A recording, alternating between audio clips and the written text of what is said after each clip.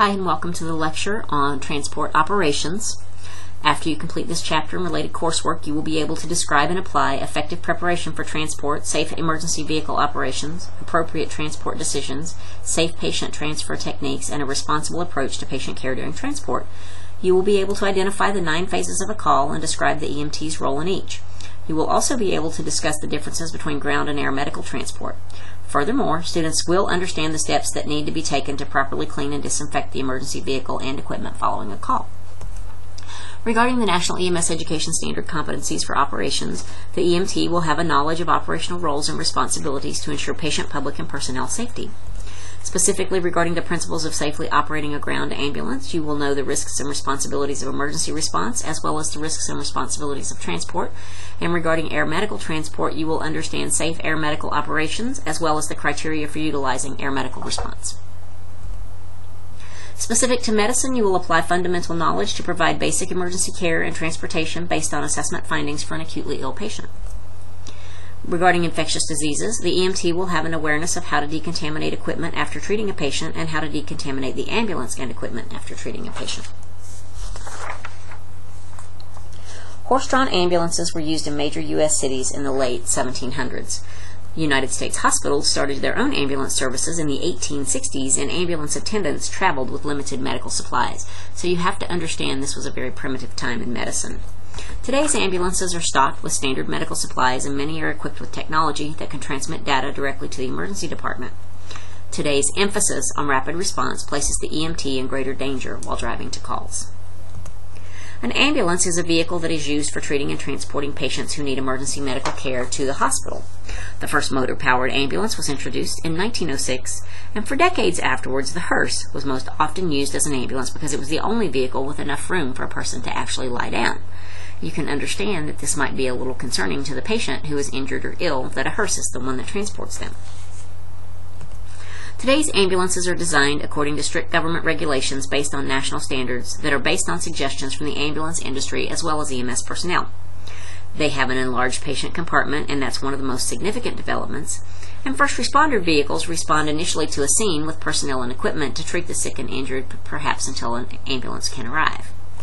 The modern ambulance contains a driver's compartment, a patient compartment big enough for two EMTs and two patients lying supine, as well as their equipment and supplies, two-way radio communications, and design and construction that ensures maximum safety and comfort. Standards for ambulance licensing or certification are established by each state,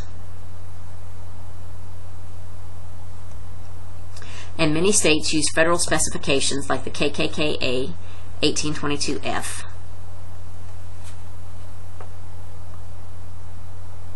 And that is effective August of 2008. The Star of Life emblem identifies vehicles as ambulances and is often affixed to the sides, rear, and roof. If you looked at the previous table, it talks about the three different types of ambulance vehicles. In the upper left corner on your screen, you see a Type 1 vehicle, which is a truck chassis with a modular box. Picture 2 on your right, upper corner of your screen, shows a Type 2 or a van type ambulance. And Type 3 on the bottom is a van front end van chassis with a modular box. The phases of an ambulance call. An ambulance call has nine phases, and these include preparation, dispatch, en route, arrival at scene, transfer of patient to the ambulance, en route to the receiving facility or transport, at the receiving facility or delivery, en route to the station, and the post-run phase.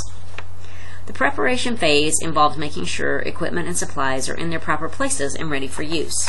The more complex a piece of equipment is and the harder it is to learn to use, the more likely it is to malfunction during an emergency. New equipment should be placed on an ambulance only after proper instruction on its use and consulting with the ambulance medical director. Equipment and supplies should be durable and standardized as much as possible. Equipment should be stored, as well as supplies, in the ambulance according to how urgently and how often they are used. You should place items needed for life-threatening conditions within easy reach at the head of the primary stretcher. You should place items for cardiac care, external bleeding control, and monitoring blood pressure at the side of the stretcher. Cabinets and drawer fronts should be transparent or labeled. They should open easily and should also close securely. As an EMT, you have access to a large variety of medical equipment and supplies. These are found on Table 36-3. Basic supplies are common supplies carried on ambulance, such as disposable gloves and sharps containers, airway and ventilation equipment, basic wound care supplies, splinting supplies, childbirth supplies, and AED, patient transfer equipment, and medications. Airway and ventilation equipment may include oral and nasal airways for adults, children, and infants, two sets of equipment for advanced airway procedures if authorized by your state and your medical director, two portable artificial ventilation devices that operate independently of an oxygen supply, um, such as pocket masks and bag mask devices, and you should follow local guidelines in identifying specific ventilation equipment that you should carry. One portable and one mounted suctioning unit, it should be large bore, non-kinking suction tubing with a semi-rigid pharyngeal tip and additional semi-rigid tips or tonsil tip suction available, a suction yoke, an unbreakable collection canister, and water for rinsing the tips. Suction tubing must reach the patient's airway regardless of their position, and all parts must be disposable or made of material that is easily cleaned or decontaminated. You should have one portable oxygen supply unit located near a door or in the jump kit, and this should contain at least 500 liters of oxygen. It should be equipped with a yoke, a pressure gauge, a flow meter, oxygen supply tubing, a non-rebreather, and a nasal cannula. It should deliver oxygen at a variable rate of 1 to 15 liters a minute, and you should have at least one extra portable 500 liter cylinder on the ambulance. You should also have one mounted oxygen unit containing 3,000 liters of oxygen. It should be equipped with visible flow meters capable of delivering 1 to 15 liters a minute. It should be accessible at the head of the stretcher, and there should be transparent disposable oxygen masks with and without non-rebreathing bags in sizes for adults, children, and infants. Ambulance services that are on runs that last longer than an hour should consider a disposable single-use humidifier for their patients. CPR equipment. A CPR board provides a firm surface under the patient's torso and establishes an appropriate degree of head tilt. If it's unavailable, you can use a long or a short backboard. You can use a tightly rolled sheet or towel to raise the patient's shoulder 3 to 4 inches, but you should not use the roll to hyperextend the neck if you suspect that your patient has a spinal injury. Mechanical devices that deliver chest compressions and ventilations are also available, but they are very expensive.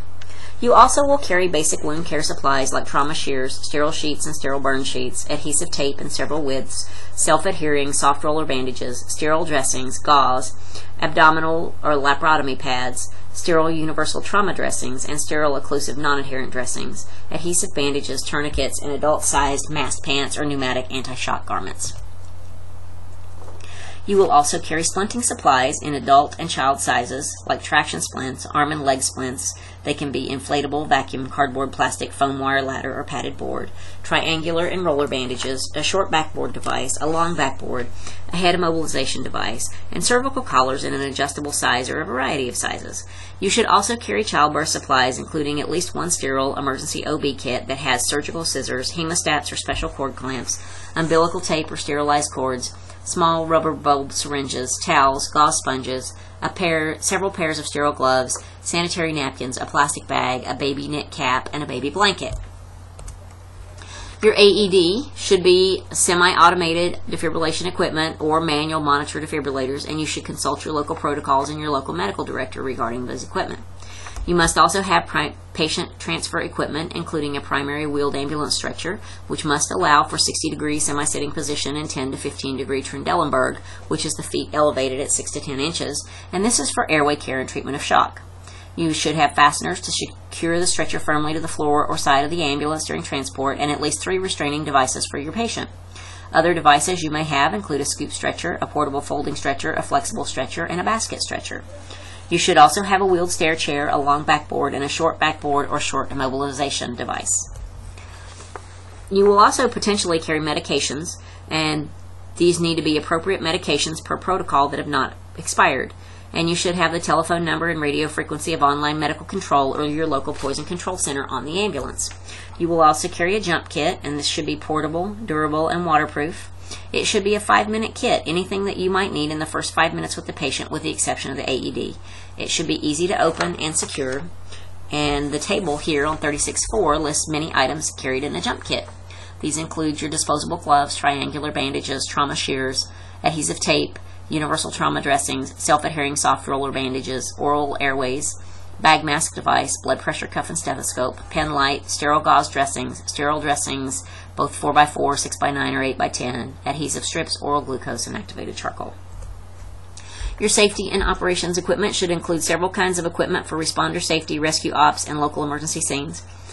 It should include personal safety equipment, um, such as personal protective equipment for exposure to blood or other body fluids, face shields, gowns, shoe covers and caps, turnout gear, helmets with face shields or safety goggles, safety shoes or boots. There should be no hazmat gear because this is reserved for hazmat technicians and response teams. And you should have equipment for your work areas, and it needs to be located in a waterproof compartment outside of the patient compartment. You should have warning devices that flash or have reflectors, two high intensity, recharging, battery powered stand up halogen 20,000 candle power flashlights. You should have a type ABC fire extinguisher, dry powder, 5 pound minimum, hard hats or helmets with face shields or safety goggles, and portable floodlights. You should have pre planning and navigation equipment that should be located in the driver's compartment detailed street and area maps, directions to key locations like hospitals, as well as extrication equipment. Your extrication equipment should be located in a weatherproof compartment outside of the patient compartment. This is um, equipment that is needed for simple light extrication, even if extrication and rescue units are readily available. And Table 36.5 here lists the items that should be included in this extrication compartment. Your personnel should include at least one EMT in the patient compartment during transport, and we do recommend two, but one is the minimum requirement. Um, some services may have a non EMT driver and a single EMT in the patient compartment. However, under state of Montana law, a minimum crew requirement is two EMTs. You should perform daily inspections, and this includes your ambulance inspection that includes fuel, oil, and transmission fluid levels, engine cooling, batteries, brake fluid, engine belts, Check the inflation pressure of wheels and tires, including the spare, and look for signs of unusual or uneven wear. You should check all your interior and exterior lights, your windshield wipers and fluid, your horn and siren, your air conditioners, heaters, and ventilating system. And you should make sure that doors open, close, latch, and lock properly. Your communication systems, vehicle, and portable, and you should check for cleanliness and position of all windows and mirrors. Inspect for cleanliness, quantity, and function of medical equipment and supplies, as well as inspect your oxygen supplies, your jump kit, your splints, your dressings and bandages, your backboards and other stabilization equipment, your OB kit, and all of your battery operated equipment like your AED.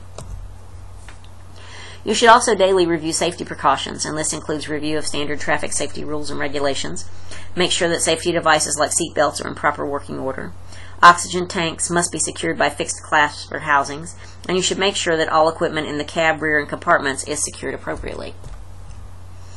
Your dispatcher should gather and record the nature of the call, the caller's name and present location, as well as the callback number, the exact location of the patient, which is most important, and the number of patients and severity of their conditions, as well as other pertinent information. This is your dispatch phase. Your en route to the scene phase, in many ways, this is the most dangerous phase for EMTs. We have to realize that collisions cause many serious injuries, and seat belts should be fastened and shoulder harnesses in place before moving the ambulance. You need to review your dispatch information and prepare to assess and care for the patient. You assign specific duties and scene management tasks and decide what equipment you should take in initially. Upon your arrival at the scene, you need to perform a scene size up and give a brief report of your findings to dispatch. You use the following guidelines. Look for safety hazards, evaluate the need for additional units, determine the mechanism of injury or nature of the illness, and evaluate the need for spinal stabilization, as well as following all standard precautions.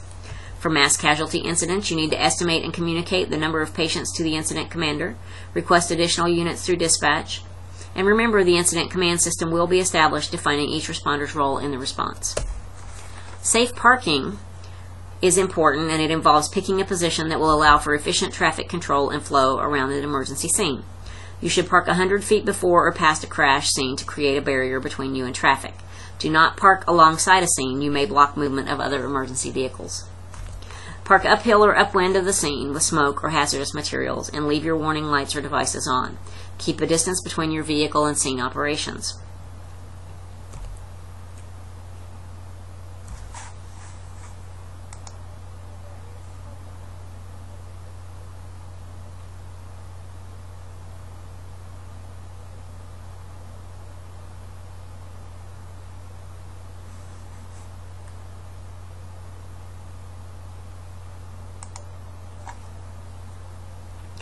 Stay away from fires, explosive hazards, down wires, and unstable structures. Set your parking brake.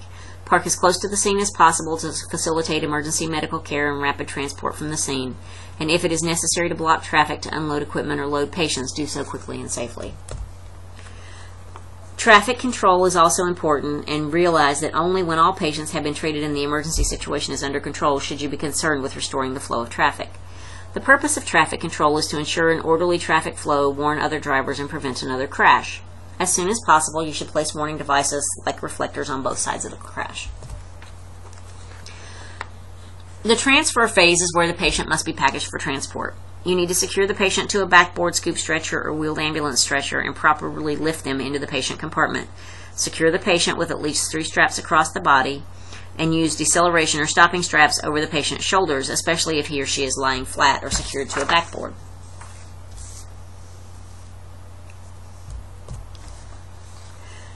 EMTs should safely transport the patient in the shortest time possible.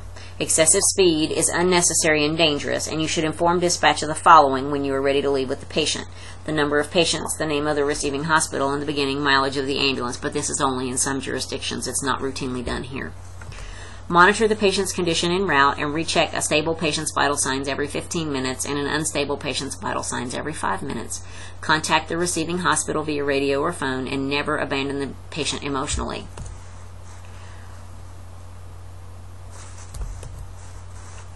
In the delivery phase, you will notify dispatch of your arrival at the hospital, report your arrival to the receiving nurse, physically transfer your patient, present a complete verbal report, complete a detailed written report, including the history of current illness or injury, the pertinent positives and negatives, the nature of illness or mechanism of injury, the relevant past medical or surgical history, medications and allergies, as well as pre-hospital treatment and its effect. After transferring the patient, it may be possible to restock items used during the call, such as oxygen mask dressings and bandages. When you're en route to the station, you should inform dispatch whether you are in service and where you are going. You do the following as soon as you're back at the station. You should clean and disinfect your ambulance and equipment if you didn't do it at the hospital, and here it's routinely done at the hospital. And restock any supplies that you may have used if you didn't restock at the hospital. In the post-run phase, you should complete and file any additional written reports and again inform dispatch of your status, location, and availability and perform routine ambulance inspections as well as refueling. It is important to know the meaning of the following terms. Cleaning is the process of removing dirt, dust, blood, or other visible contaminants from a surface or equipment. Disinfection is the killing of pathogenic agents by directly applying a chemical made for that purpose to a surface or equipment.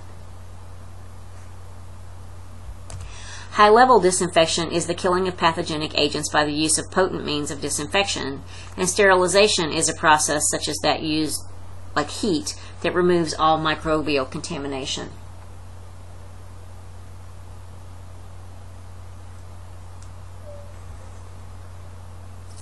After each call, perform the following regimen. Strip used linens from the stretcher and place them in a plastic bag or designated receptacle and discard medical waste like disposable equipment used for patient care during the call in an appropriate receptacle. Also, wash contaminated areas with soap and water.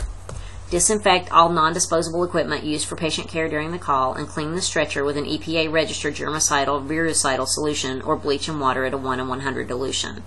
You should clean spillage or other contamination with the same germicidal or virucidal solution as of bleach water and create a schedule for the routine cleaning of the emergency vehicle. You should refer to the manufacturer's recommendations to create a written policy or procedure for cleaning each piece of equipment.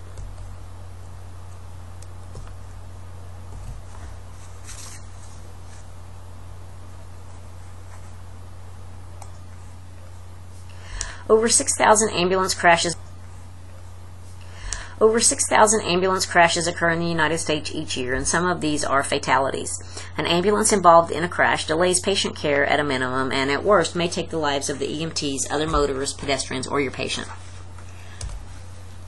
Some states require drivers to successfully complete an approved emergency vehicle operations course.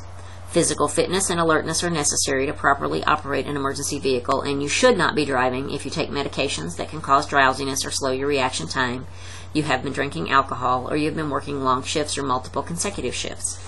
Notify your employer if you have worked a shift previously and feel unable to safely operate the emergency vehicle. Emotional maturity and stability are necessary to operate under stress, and never think that you can drive in any manner that pleases you simply because you are running lights and sirens. There are some safe driving practices to abide by, and the first rule of safe driving in an emergency vehicle is that speed does not save lives. Good patient care does. All drivers and passengers must wear seat belts and shoulder restraints at all times. If you remove your seatbelt to provide care, fasten it again as soon as possible. Unrestrained or improperly restrained patients and equipment may become airborne during a collision. You need to become familiar with how your emergency vehicle accelerates, corners, sways, and stops under various conditions. Make sure you understand the vehicle braking characteristics and the best downshifting techniques.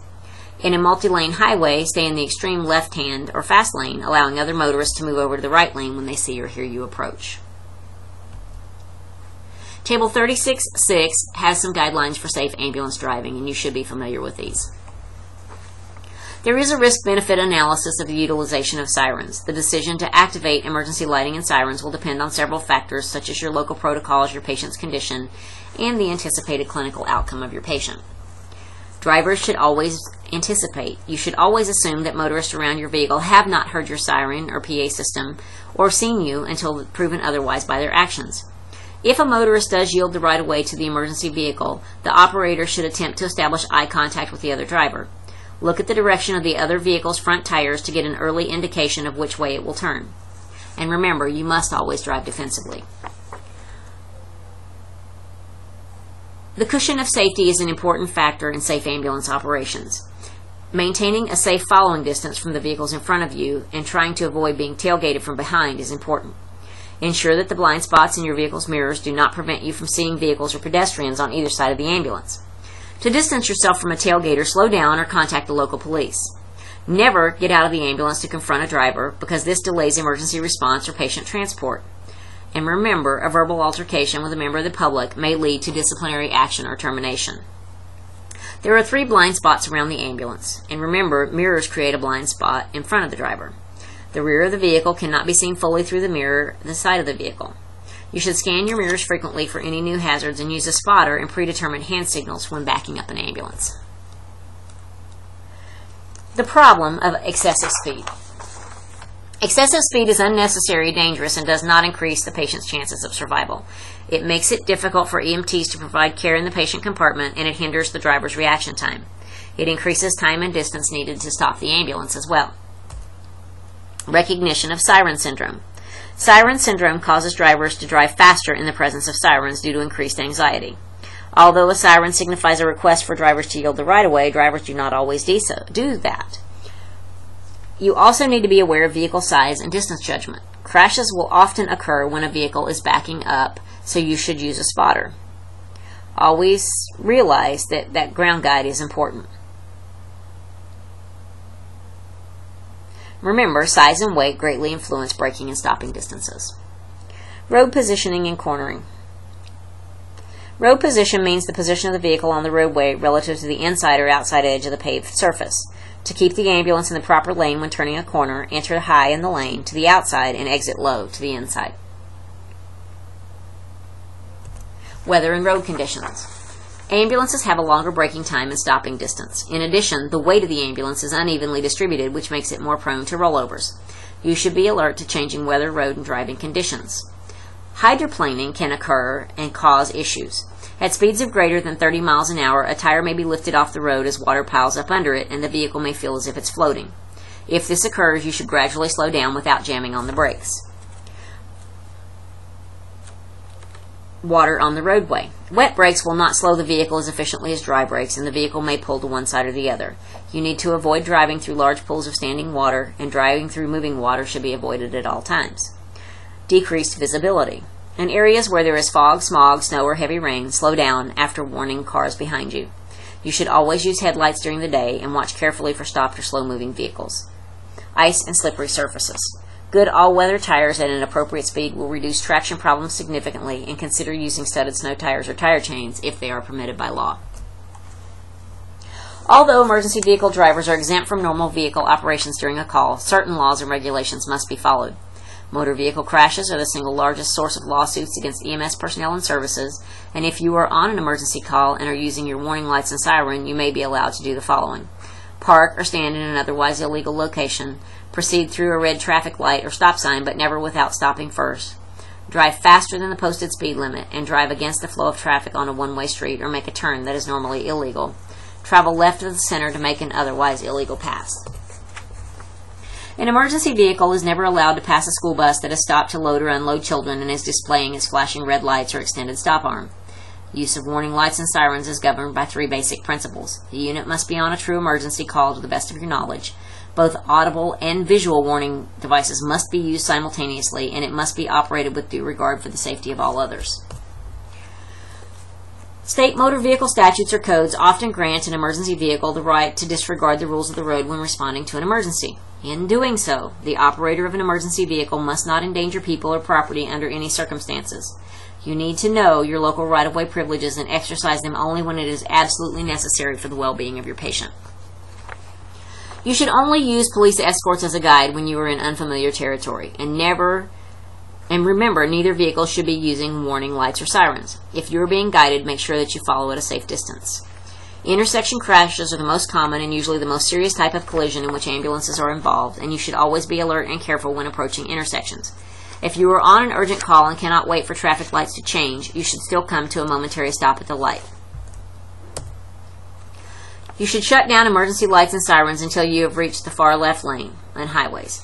For unpaved roadways, you need to take special care and operate the vehicle at a lower speed and maintain a firm grip on the steering wheel. In school zones, it is unlawful for an emergency vehicle to exceed the speed limit in school zones regardless of the condition of the patient.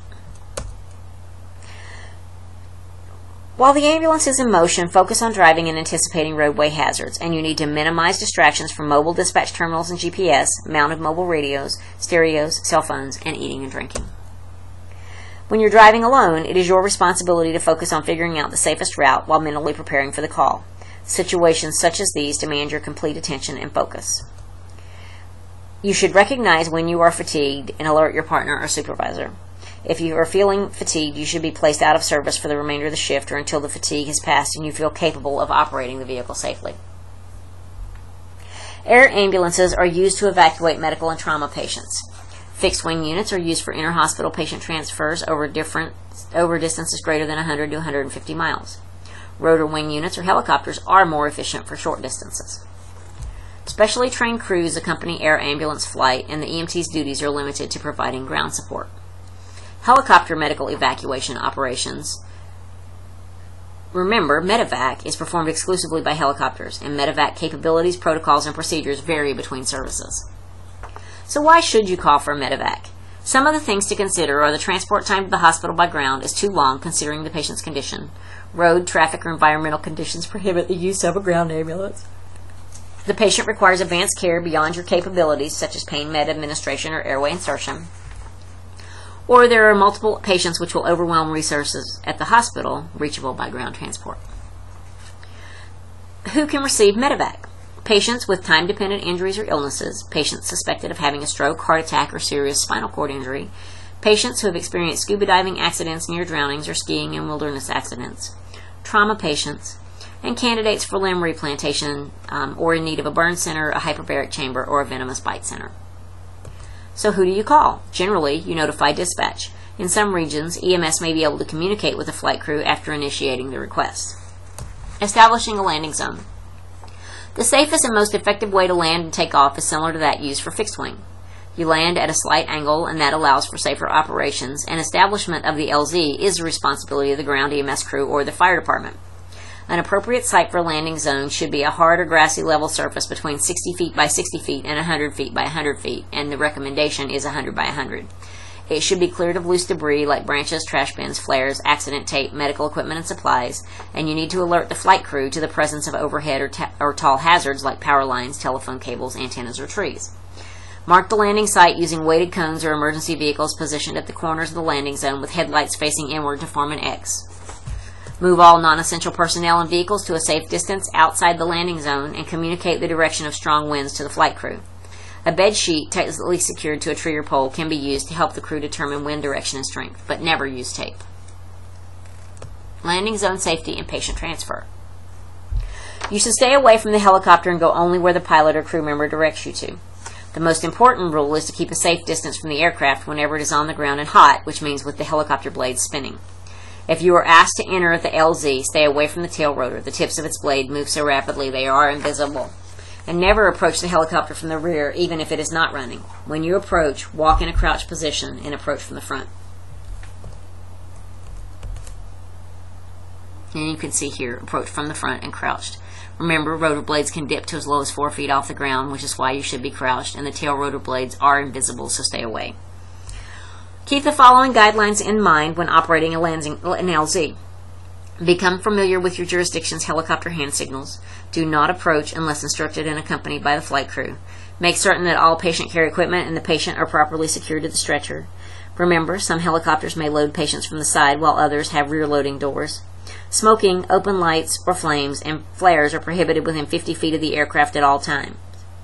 In your medevac request, to prevent communications issues, include a ground contact radio channel and call sign of the unit the medevac should make contact with. This slide gives you some standard aeromedical hand signals to be aware of. Some special considerations. For night landings, do not shine spotlights, flashlights, or any other lights in the air to help the pilot. They may temporarily blind him or her. Direct low intensity headlights or lanterns toward the ground at the landing site and illuminate overhead hazards or obstructions if possible. If you're landing the helicopter on uneven ground, it is if it is necessary, you need to use extra caution. The main rotor blade will be closer to the ground on the uphill side, and so you should approach the aircraft from the downhill side only uh, or as directed by the flight crew. Medevacs and hazmat. You need to notify the flight crew if the scene is a hazmat incident and consult them and the incident commander about the best approach and distance from the scene for the medevac. The landing zone should be uphill and upwind from the hazmat scene and properly decontaminate patients before you load them into the helicopter. There are several important factors that must be taken into consideration when making the decision to request a medevac. Assess the severity of the weather or environment and terrain. And remember, most helicopter services are limited to flying at 10,000 feet above sea level. Medevac helicopters fly between 130 and 150 miles an hour. Because of the cabin's confined space, assess the number and size of the patients that can be safely transported in a medevac helicopter. Typical medevac flights cost between eight and ten thousand dollars, whereas ambulance transport costs between four hundred to a thousand. In summary, today's ambulances are designed according to strict governmental regulations based on national standards. The ambulance call has nine phases, these include call preparation, dispatch, en route, arrival at scene, transfer of the patient to the ambulance, en route to the receiving facility or transport, at the receiving facility or delivery, and en route to the station and post run. Certain items, like sterile gloves, must be available on the ambulance at all times, as dictated by state and jurisdictional requirements. Every ambulance must be staffed with at least one EMT in the patient compartment whenever a patient is being transported. Two EMTs are strongly recommended. However, there are some services that may use a non EMT driver and a single EMT in the patient compartment. Check all medical equipment and supplies at least daily, including all the oxygen supplies, the jump kit, splints, dressings and bandages, backboards, and other stabilization equipment, and the emergency OB kit. During the post-run phase, you should complete and file any additional written reports and inform dispatch of your status, location, and availability. Perform a routine inspection to ensure that the ambulance is ready to respond to the next call. Learn how to properly operate your emergency vehicle. Speed does not save lives, good care does. The driver and all passengers must wear seatbelts and shoulder restraints at all times. Air ambulances are used to evacuate medical and trauma patients. Both fixed wing and rotor wing aircraft or helicopters are used. A medical evacuation is commonly known as a medevac and is generally performed by helicopters. As always, if you have questions, please bring them to your instructor to discuss in the face to face portion of your class. Thank you.